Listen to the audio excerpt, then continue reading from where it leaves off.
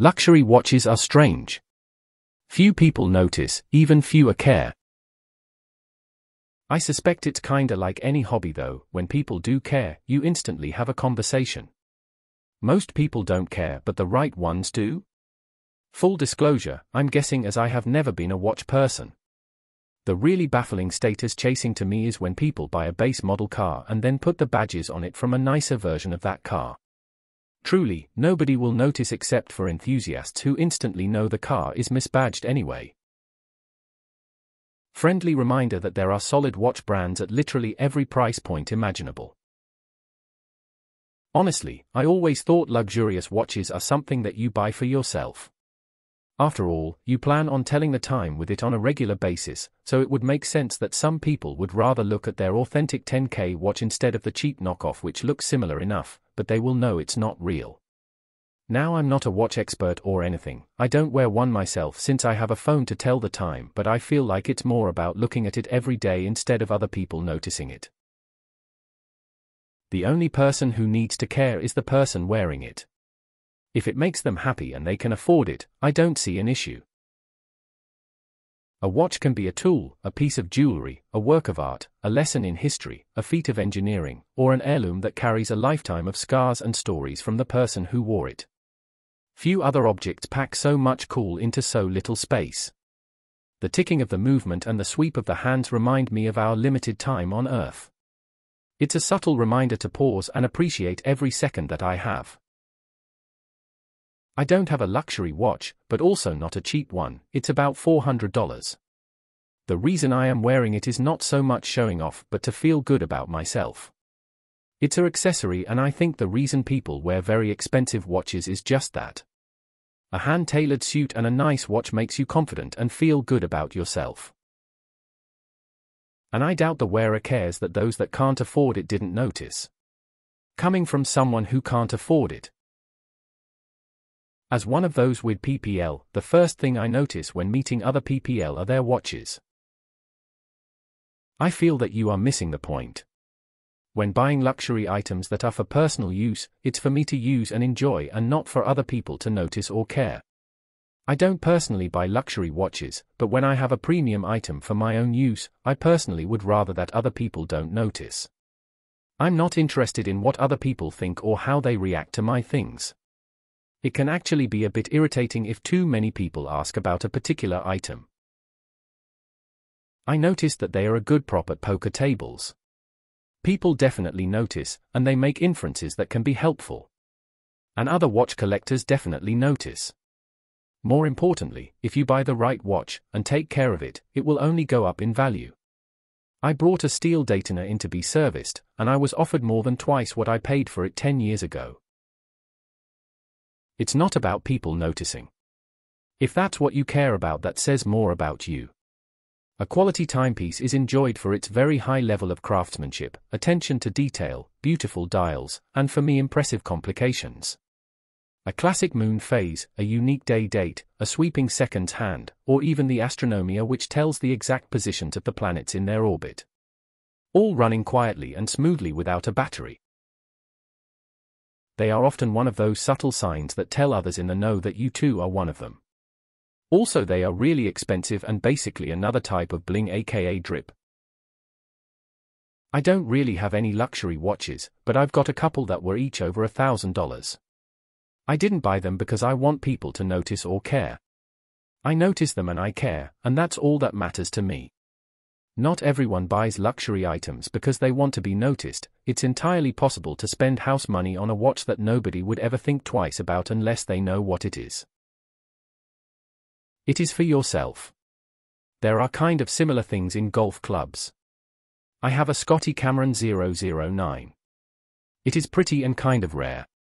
I don't care if anyone else sees it or cares. It makes me happy to look at and putt with.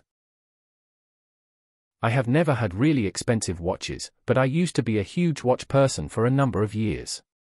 I still have dozens in a box that I don't wear anymore. I spent a lot of money over the years on watches. For me, it was all about how I felt. I felt successful and put together with a high quality, beautiful watch that I liked. Brought about a confidence in me that I felt could help the rest of my day. Sometimes people would notice and comment, which was always nice, but I always wore them for myself. I felt that they helped me look put together. Luxury watches are strange for those too poor to purchase them is how this should read. I know plenty of folks who both notice and truly care about those expensive as watches. They are really just used to convert your black money into a valuable.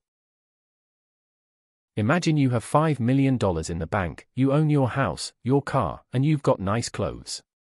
You buy a watch for $30,000 and now you've got $5 million in the bank. X200B. Few people notice, even fewer care. The buyer himself doesn't even need to care. He might just have cash to spend. They look cool. And can be symbol of pride and personal achievement.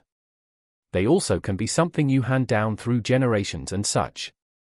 A great gold watch never gets old to wear. I wear my nice watch for myself.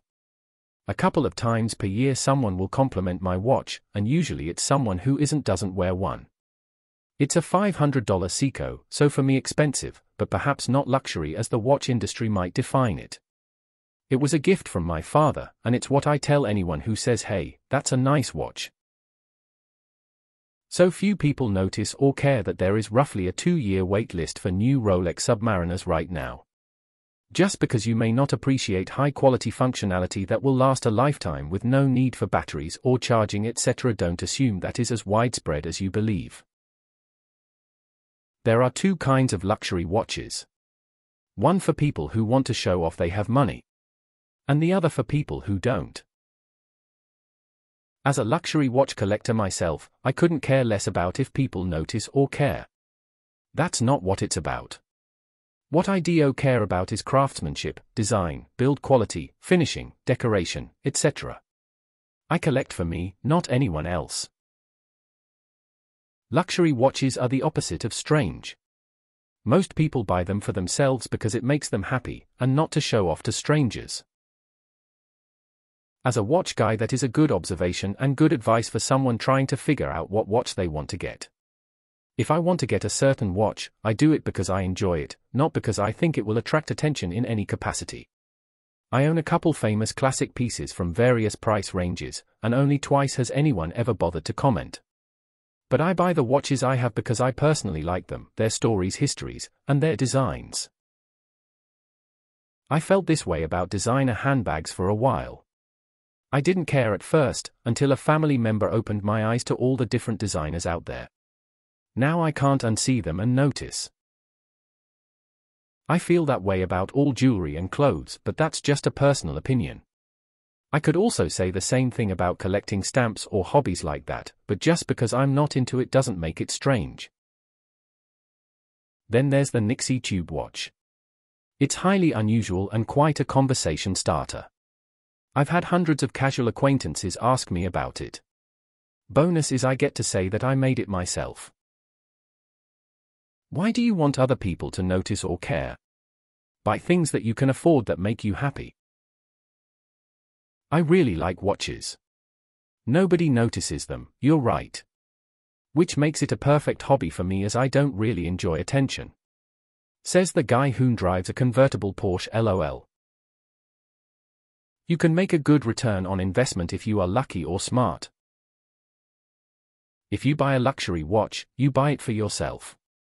It can be a conversation, maybe you enjoy the engineering, maybe it feels like jewelry for you. For me, it's the mechanics and engineering. I've been wearing a Citizen for a while now, it was passed down to me, it's a 17 or so year old watch. It reminds me of my family. I like nice watches because they feel nice. I don't like brands, I like stuff that has an automatic movement, sapphire crystal, and well made bracelet. Double-domed crystals are even better in my opinion. But then again I'm a nerd, I got bored and built my own watch just so it was what I wanted.